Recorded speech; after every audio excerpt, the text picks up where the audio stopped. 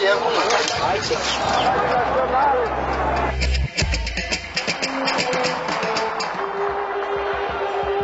trabalhador brasileiro possui hoje seu código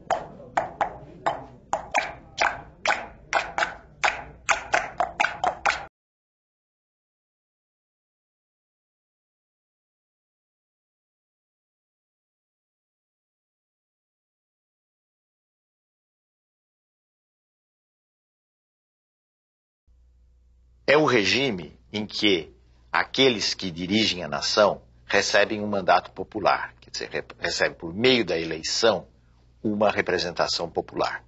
Isso distingue uh, a democracia de qualquer uh, regime autoritário, totalitário. Isto é, a ideia de que a soberania reside no povo e o povo elege os seus representantes. Mas de tal maneira identificou-se o colégio eleitoral com o povo que hoje nós não sabemos o que é direta e o que é indireta. Sabemos apenas que o povo será vitorioso.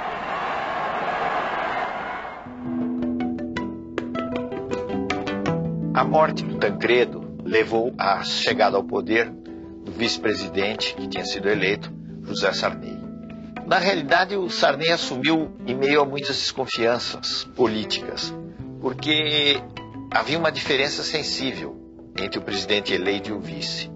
O Tancredo era um homem uh, moderado politicamente e que vinha longamente combatendo o regime autoritário. Então ele tinha um crédito de confiança grande.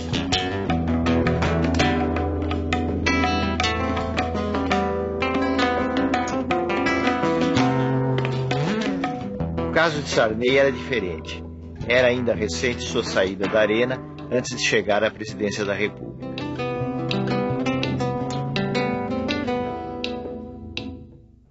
O Sarney manteve o SNI, o Serviço Nacional de Informações, como um órgão que vinha da ditadura e que ele entendeu que poderia ser adaptado a um outro contexto. Isso também provocou muitas críticas. Mas, na verdade, a gente pode dizer que o aspecto mais positivo do governo Sarney foi exatamente garantir um clima de liberdades democráticas. No plano econômico, o governo Sarney uh, teve muitos aspectos negativos. O Brasil carregava problemas que vinham já de antes, descontrole financeiro, inflação enorme, déficit público, déficit externo. E Sarney teve, em razão disso principalmente, sofreu uma queda muito grande da sua popularidade. Isso levou à adoção de um plano, que foi o Plano Cruzado.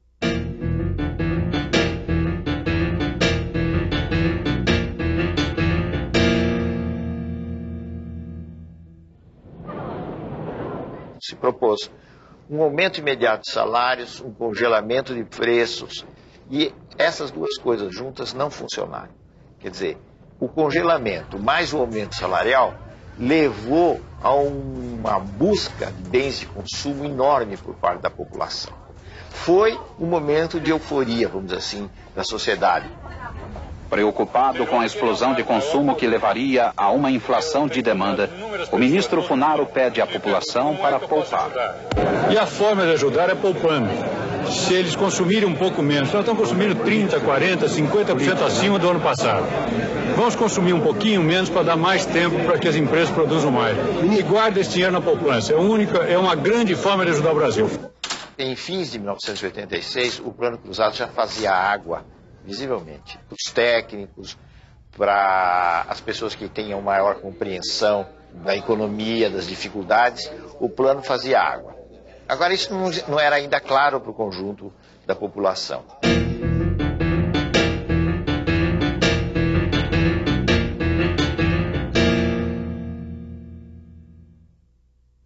Brasileiras e brasileiros, boa noite. Amanhã é uma data histórica para o nosso país. Será promulgada a nova Constituição Brasileira. A gente deve identificar algumas coisas positivas e várias coisas negativas na Constituição de 88. A nação quer mudar. A nação deve mudar. A nação vai mudar. A Constituição pretende ser a voz, a letra, a vontade política da sociedade rumo à mudança. Que a promulgação seja nosso grito. Mudar para vencer. Muda Brasil! Muda Brasil! O aspecto positivo foi o aspecto de querer assegurar os direitos dos cidadãos de uma forma muito ampla.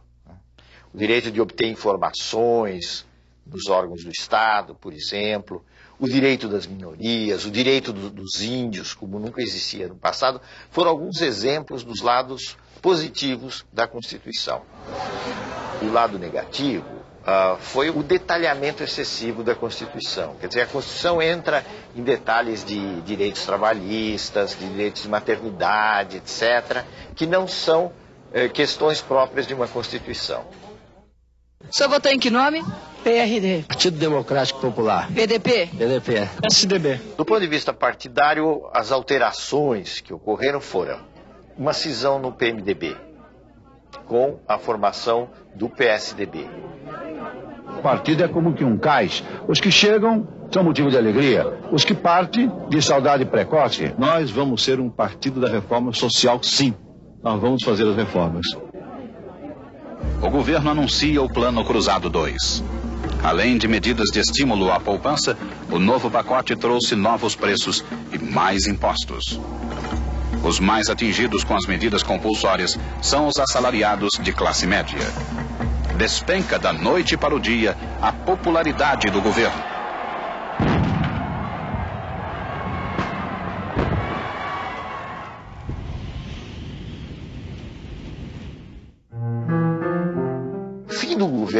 Sarney foi bastante melancólico. O Brasil acabou decretando uma moratória, deixou de pagar a sua dívida externa, e ao contrário do que muita gente pensa, isso representou um sério golpe nas finanças brasileiras.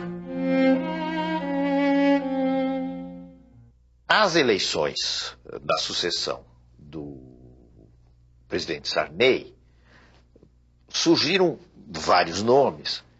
Eh, Brizola teve, naquele momento, teve o seu, digamos assim, o seu, o seu apogeu como candidato uh, à presidência da República. Porém, a disputa acabou concentrada no segundo turno entre uh, Luiz Inácio Lula, uh, Lula, da Silva e Fernando Collor.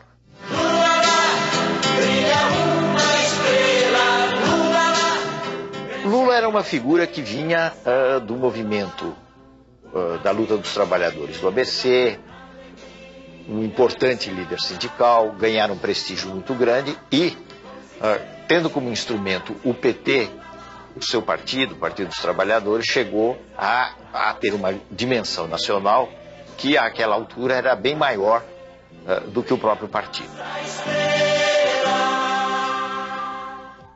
Se nós não soubermos nesse instante saber quem é que está querendo que a sociedade brasileira avance.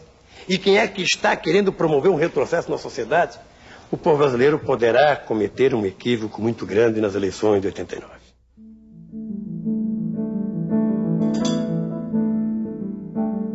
O Collor era uma figura que vinha, primeiro, de um estado pequeno, vinha de Alagoas. Segundo, não tinha nenhuma máquina partidária que o apoiasse. Em terceiro lugar, ele usava o marketing e usava certos temas de moralização com muita eficácia. Foi o caso da campanha contra os marajás, que iludiu muita gente, porque ele se apresentava como alguém que ia combater os altos vencimentos de um determinado setor do funcionalismo público. Eu confio no Brasil. Eu confio no futuro que está reservado à nossa pátria. Com trabalho, experiência administrativa como eu tenho, com coragem, com determinação política e no exercício da autoridade de presidente da República, nós haveremos, com a ajuda de todos aqueles que desejarem se incorporar nesse processo, de construir um Brasil novo, de construir um Brasil melhor, de construir um Brasil de que se orgulhem todos os seus filhos. Boa noite, minha gente. Esse foi um embate muito renhido e, como nós sabemos, uh, o Collor acabou se elegendo presidente da República. A posse, em 15 de março de 1990, foi um luxo, reunindo representantes de várias partes do mundo e enchendo de esperanças os corações de milhões de brasileiros. Aos fiscalizados, aos descalços, àqueles que querem justiça social no país para poder. Todo mundo dizia ele vai fazer alguma coisa com a economia, porque havia um desarranjo geral, a inflação estava num nível absolutamente insuportável, era preciso fazer alguma coisa. E Collor dizia: eu tenho uma bala só do combate à inflação. E o que ele tentou no plano econômico, hoje nós sabemos, foi uma medida de uma ousadia imensa, que foi o sequestro, ou se quiserem, para ser mais benévolo, o congelamento dos depósitos bancários, na prática, não é? E inclusive abrangendo poupança, outras formas de rendimento, etc. Uh, o plano Collor provocou um, choque, vamos dizer assim, na população. Houve realmente um, uma queda pronunciada da inflação, mas eh, essa espécie de plano milagroso, ah, ao longo do tempo, foi se revelando muito menos milagroso e conduzindo o país a as dificuldades econômicas. Primeiro, uma recessão. A recessão poderia até levar a um reequilíbrio, mas não houve sequer tempo do reequilíbrio, porque uh, o Collor foi uh, tomado por uma onda de críticas no plano político que acabou levando ao impeachment. Na verdade, o governo Collor combinou medidas modernizadoras com um imenso grau de corrupção. O escândalo da corrupção gerou um movimento formado principalmente por jovens de classe média, exigindo o impeachment do presidente, afinal aprovado pelo Congresso.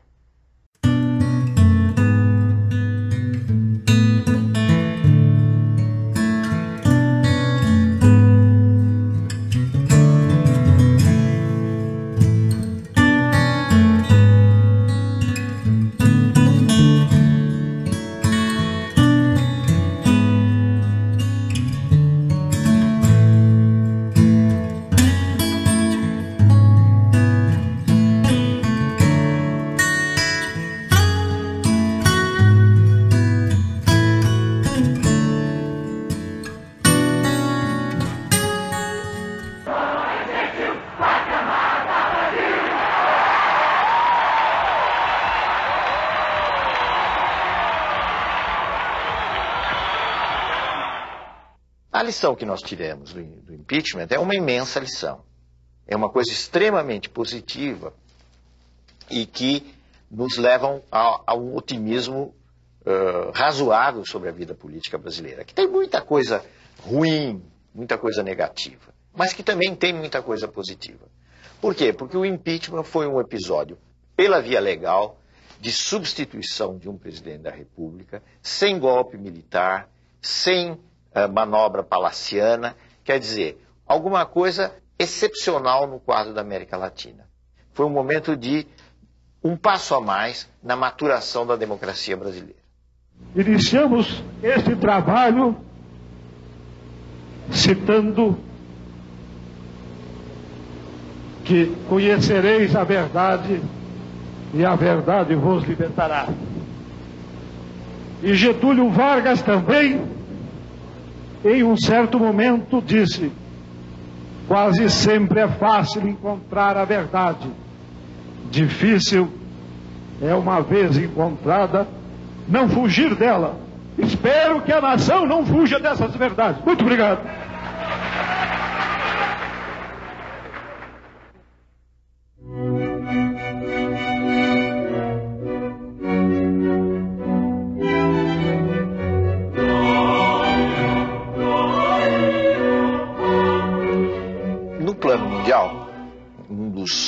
Acontecimentos mais importantes e, e que se reflete em todos os países, portanto no Brasil também, foi a crise da União Soviética e o fim da União Soviética.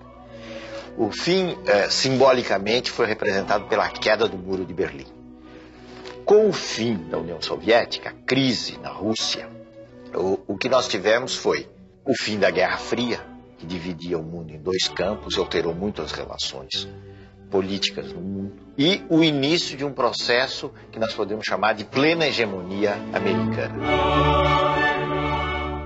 A globalização é uh, uma interpenetração, digamos assim, econômica e financeira que se dá em todo o mundo, não de uma forma igual, porque existe um centro hegemônico da globalização, que são os Estados Unidos. Mas eu diria que a globalização tem possibilidades positivas. O intercâmbio comercial, cultural entre as nações é em si mesmo um fator desejável e tem riscos uh, reais, porque a globalização, se não houver medidas no sentido de limitá-la ou de, ou de alguma forma regulamentá-la, a globalização tende a acentuar desigualdade entre países ricos e países pobres.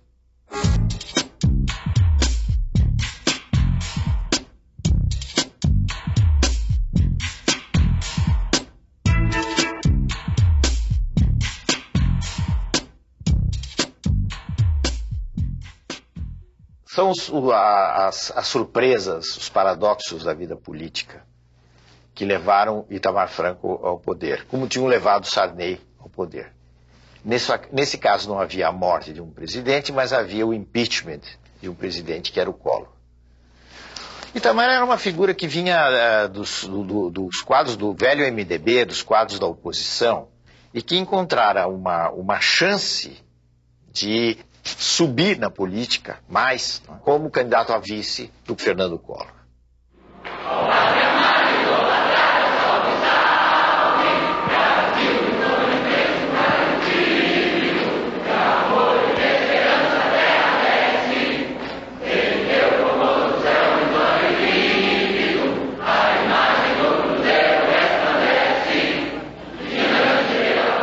Compromisso do presidente da República Prometo manter, defender e cumprir a Constituição, observar as leis, promover o bem geral do povo brasileiro, sustentar a união, a integridade e a independência do Brasil.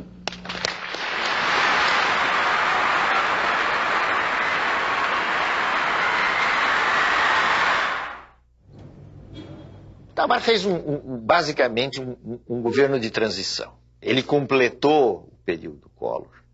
E eu creio que a coisa mais importante que ocorreu no, no, no governo Itamar foi a implantação uh, da URV, da Unidade Real de Valor, um passo absolutamente necessário para a implantação do Plano Real. A moeda é o mais concreto dos atos de confiança das nações em si mesmas. Por isso, todos os processos inflacionários da história se relacionam com as crises políticas e com as crises morais. Com o real, o dinheiro que está no bolso do trabalhador vai manter o seu valor. Muito obrigado. Essa medida, a escolha de Fernando Henrique Cardoso para o Ministério da Fazenda, eu acho que foram os méritos mais significativos do governo Itamar. A disputa pela presidência da República, em 1994, se deu essencialmente entre Lula, que era mais uma vez candidato pelo PT, uma frente de oposições, agora enfrentando Fernando Henrique Cardoso. A candidatura eh, de Fernando Henrique foi altamente beneficiada pela instituição da URV e pelo Plano Real. É preciso também entender que uh, foi extremamente importante naquela altura para a vitória a formação de uma frente partidária. A frente PSDB, PFL e PTB representou um fator bastante importante para garantir a vitória do presidente Fernando Henrique logo no primeiro turno.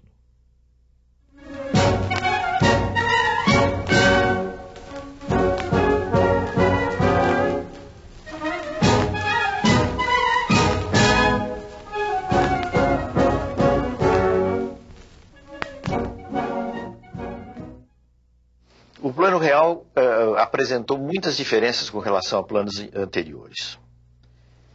Primeiro, porque ele acabou com a chamada indexação da economia. Quer dizer, acabou com aquele circuito de que uh, os, os preços vão aumentando em função da inflação, etc. Ele quebrou isso. Fernando Henrique chegou às nove e meia da manhã. Cercado de crianças, comeu pão com manteiga e tomou café puro. Foi interrompido para dar autógrafo. Fernando Henrique pagou a conta de 55 centavos com uma nota de um real e recebeu um desconto de 5 centavos.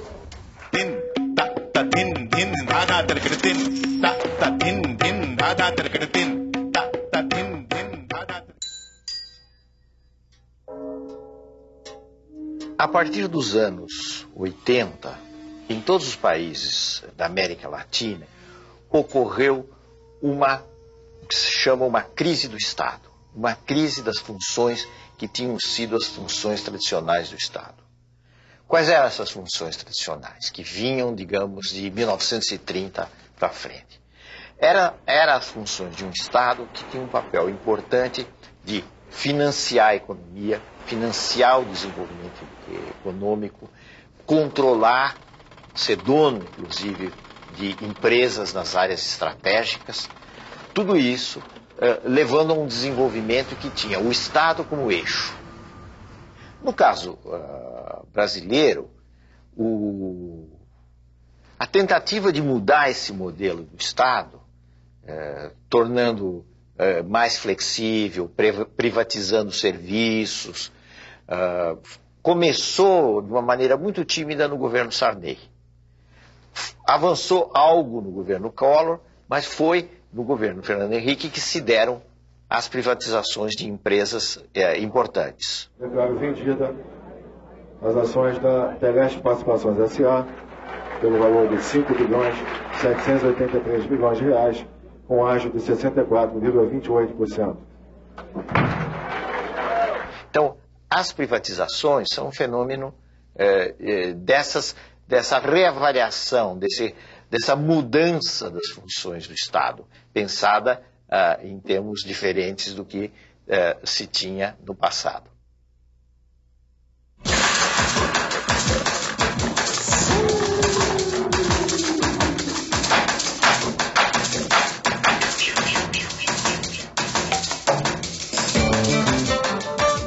A característica do, do, do governo uh, Fernando Henrique, do ponto de vista político estrito, vamos dizer assim, foi a existência de dois mandatos, isto é, houve duas eleições, a primeira e uh, uma segunda, que levaram a oito anos desse governo. A hipótese de reeleição não existia no, no nosso sistema republicano.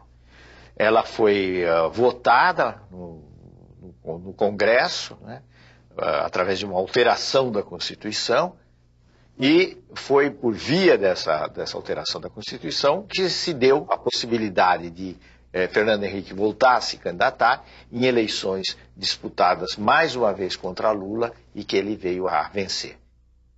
O primeiro mandato foi, foi basicamente a consolidação inicial do, do, do Real e as reformas da Constituição e a tentativa de fazer algumas reformas que são necessárias, a Previdência, a da administração pública, etc. Bom, essa tentativa foi frustrada até certo ponto, porque a reforma da Previdência não foi feita. Então, eu diria que nós avançamos bastante no primeiro mandato, né, no que diz respeito à parte econômica, quebra de monopólios, etc. Bom, o segundo já foi caracterizado pelas turbulências da globalização, porque ele se iniciou sob a crise do México, que foi em 98, 99, e foi uma crise atrás da outra.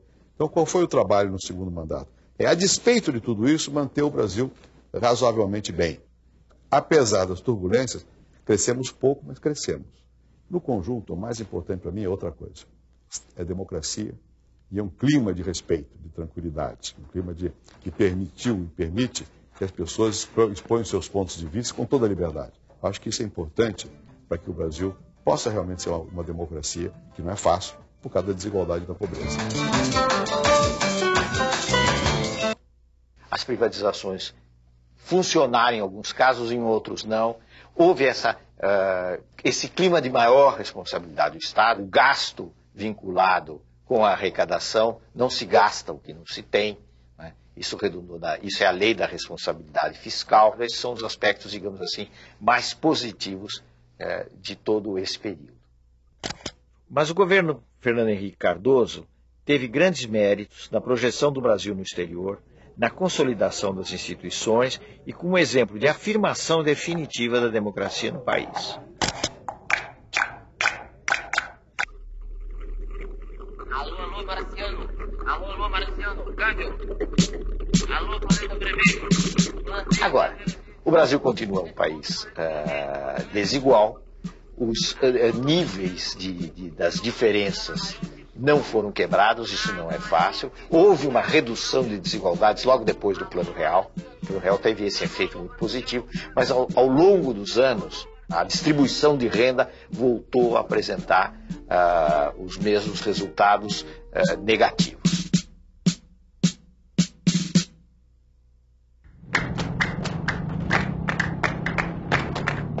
As eleições de 2002 se caracterizaram pela sua absoluta normalidade.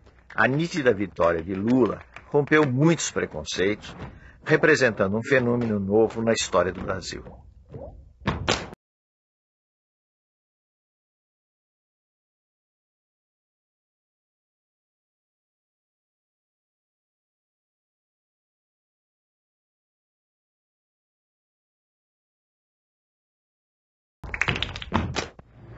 Eu não sou o resultado de uma eleição. Eu sou o resultado de uma história.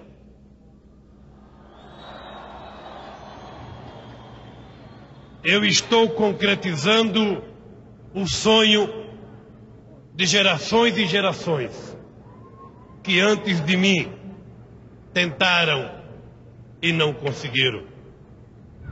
O meu papel nesse instante com muita humildade, mas também com muita serenidade, dizer a vocês que eu vou fazer o que acredito que o Brasil precisa que seja feito nesses quatro anos. Cuidar da educação, cuidar da saúde, fazer a reforma agrária, cuidar da previdência social. E acabar com a fome neste país são compromissos menos programáticos e mais compromisso moral e ético que eu quero assumir aqui nessa tribuna, na frente do povo, que é o único responsável pela minha vitória e pelo fato de eu estar aqui hoje tomando posse.